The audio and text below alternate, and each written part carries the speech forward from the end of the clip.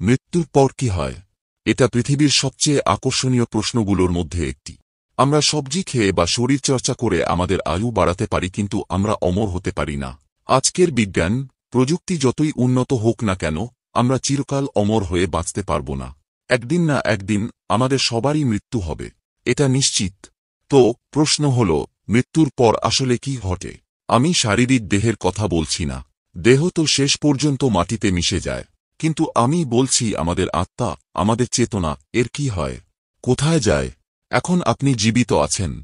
এর মানে আপনি অনুভব করতে পারছেন যে আপনি আছেন। এটাই তো চেতনা। কিন্তু প্রশ্ন হল, মৃত্যুর পরও কি আপনি এই অনুভূতিকে টের পাবেন? নাকি আপনি পুরোপুরি শূন্য হয়ে যাবেন? শুনতে অদ্ভুত লাগছে। কিন্তু একবার ভাবুন তো, মৃত্যুর পর কি অনুভূতি হয়? মনে করার চেষ্টা করুন, এটা কি সম্ভব? আপনি আপনার না থাকা অবস্থাকেও কি ভাবতে পারেন? একদমই অসম্ভব। কেননা না থাকা মানে শূন্যতা, আর শূন্যতা অনুভব করার জন্য তো কিছু থাকা প্রয়োজন। তাই না? তাহলে কি এর মানে? মৃত্যুর পরও আমরা আমাদের অস্তিত্ব টের পাই।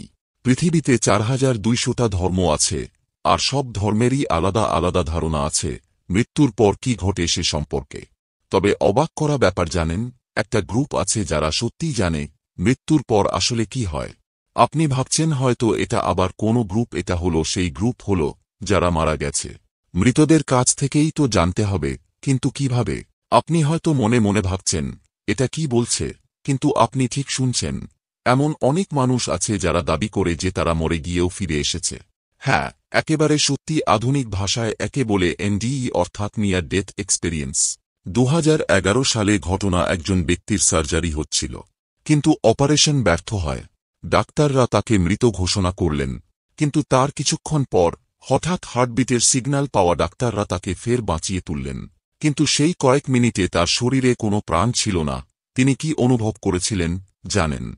তিনি বলেছিলেন, আমি কিছু অনুভব করছিলাম না, কিন্তু আমি ছিলাম কেমন অদ্ভুত, তাই না? শুনতে অবিশ্বাস্য লাগছে, তাই না? এমনই আরেকটা ঘটনা যেখানে এক ছাত্র ঘুমের ওষুধ বেশি খেয়ে অজ্ঞান হয়ে পড়েছিল। তাকে অ্যাম্বুলেন্সে হাসপাতালে নেওয়া হচ্ছিল। কিন্তু রাস্তায় অ্যাম্বুলেন্সের ভেতরেই সে মারা যায়। কিন্তু আশ্চর্যজনকভাবে তিন মিনিট পরে সে ফের জেগে উঠল। সে যা বলল তা শুনে অবাক হবেন, সে বলল, সে তার শরীর থেকে বেরিয়ে গিয়ে নিজেকে দেখছিল। অ্যাম্বুলেন্সের ভেতর তার শরীর শুয়ে আছে, আর সে বাইরে থেকে দেখছে।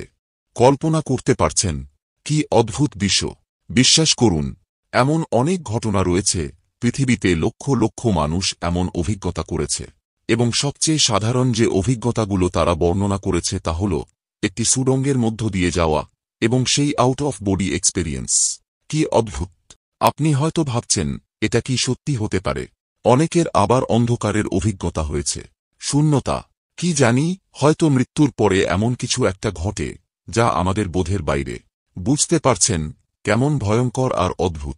কিছুই নেই, কোনো অনুভূতি নেই, কিন্তু নিজেকে ঠিকই টের পাওয়া যাচ্ছে। কেমন লাগে সেটা ভাবুন একবার। কিছু মানুষ বলেছে যে তারা সময়কে দেখতে পেয়েছে। ভাবুন একবার। সময়কে দেখছে, শুনতে কি পাগলামি লাগছে, কিন্তু তাদের মতে, সেই সময় তারা সময়কে অবজেক্টের মতো দেখতে পেয়েছে।